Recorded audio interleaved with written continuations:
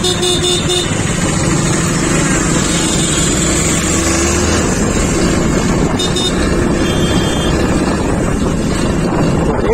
back to our another blog तो कैसे हैं आप लोग? आई होप आप सब अच्छे होंगे और मैं भी बहुत अच्छा हूँ और अभी जो जिस पुल पे हम अभी पार हो रहे हैं, ये जामतड़ा का न्यू ओवर ब्रिज है। तो चलिए, आप लोग को दिखाते हैं अभी नया ओवर ब्रिज जामतड़ा का। और जिसने देखा देखा है, वो तो अच्छी बात है, जिसने नहीं देखा है, वो तो स्पेशली आप देखिएगा। इस पुल को देखिए, कितना अच्छा लग रहा है और काफ़ी लंबा है। और अभी चलते हैं, कितना दूर तक है ये पुल देखते हैं। काफ़ी अच्छा बनाया गया क्या? व्यू इधर आप देख पा रहे हैं काफ़ी अच्छा व्यू आ रहा है। और अभी दोपहर के अभी एक बज रहे हैं। एक्चुअली मैं आया हुआ था इधर कॉलेज आया हुआ था तो मैंने सोचा क्यों ना इस ओवर ब्रिज को आप लोगों को दिखा दूँ।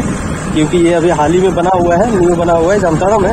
तो जो जामताड़ा के हैं, वो लोग तो देखे ही होंगे, जो नहीं है, जो देखना चाहते हैं इस ओवर ब्रिज को, वो देखिए इस वीडियो को, आपको पता चल जाएगा, देखिए कितना लंबा है, और अभी तक हम जा ही रहे हैं।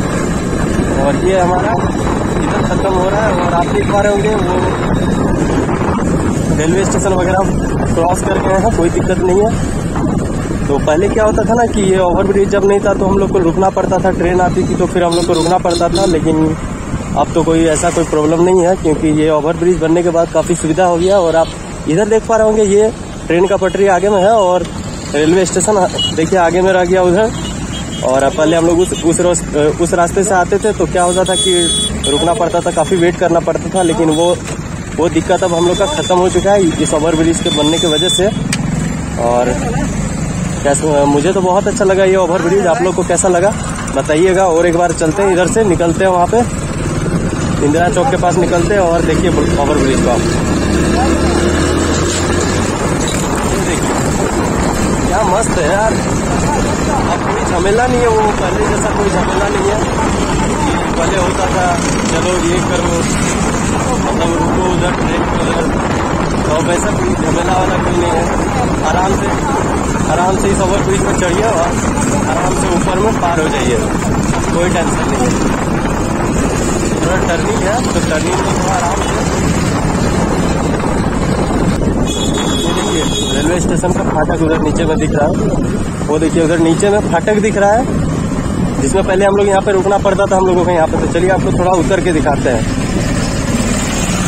उतर के दिखाते हैं तो ये अपना धन धनो और ये देखिए, आपको दिख पा रहा होगा, वहाँ पे रहा फाटक, वहाँ पे पहले हम लोग को वेट करना पड़ता था कि यार इधर से आए, फिर वहाँ पे रुकना पड़ता था, क्योंकि ट्रेन पार हो रही थी तो इस वजह से दिक्कत हो जाता था, लेकिन ये देखिए ओवरब्रिज का कुछ व्यू ऐसा है। और ये बन के तो हम लोगों के लिए बहुत ही अच्छा हो गया है, ये ओवरब्रिज बनने के बाद डायरेक्ट हम लोग इधर इंदिरा चौक में निकलते हैं। और चलिए, चलते हैं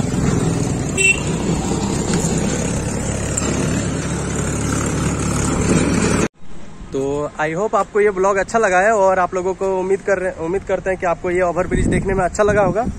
और ऐसे इंटरेस्टिंग और नए नए ब्लॉग्स देखने के लिए मेरे चैनल को सब्सक्राइब कर लीजिएगा और ऐसे ब्लॉग्स हम लाते रहते हैं, कुछ यूनिक कंटेंट लाते रहते हैं तो इसीलिए चैनल को सब्सक्राइब कर लीजिएगा और बेल आइकन को प्रेस कर लीजिएगा ताकि मेरे जितने भी ब्लॉग्स हैं सबसे पहले आप देख पाए और वीडियो अच्छी लगी तो लाइक कर दीजिएगा, दोस्तों के साथ शेयर कीजिएगा। और आई होप चलिए गाइज़ मिलते हैं दूसरे ब्लॉग में। तब तक के लिए जय हिंद, वंदे मातरम।